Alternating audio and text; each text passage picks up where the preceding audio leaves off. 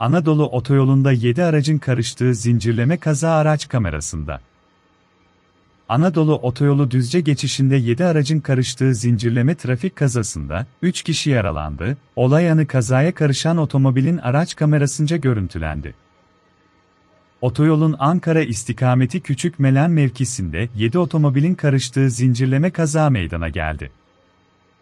İhbar üzerine kaza mahalline 112 acil servis ve polis ekipleri sevk edildi. Yaralanan 3 kişi, sağlık görevlilerince Düzce ve Sakarya'daki hastanelere kaldırıldı. Kaza nedeniyle ulaşımın tek şeritten sağlandığı yolda trafik, araçları kaldırma ve temizlik çalışmasının ardından normale döndü. O arada olay anı kazaya karışan otomobilin araç kamerası tarafından kaydedildi.